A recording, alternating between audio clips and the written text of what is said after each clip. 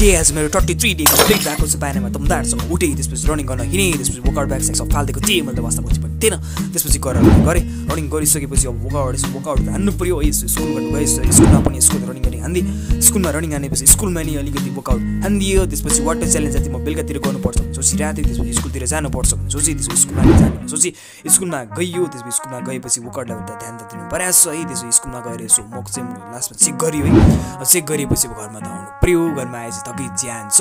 यसो वाटर च्यालेन्जलाई पनि ध्यानमा दिनु पऱ्यो। यसो पानी सानी टन्न खाएँ। त्यसपछि पानी सानी खाइसकेपछि यसो हेरिरहेको छु अनि त्यसपछि किताब पढ्न सुरु गर्दै अनि पढ्दै पनि यहाँ भनेको छ यहाँको यो पाण्डव सेनामा भीम र अर्जुनका सामान्य लडाइँ गर्ने महारथीहरूको युद्ध विरट वा तथा दुपदका अनेक जरिका वीरहरू छाएका छन्।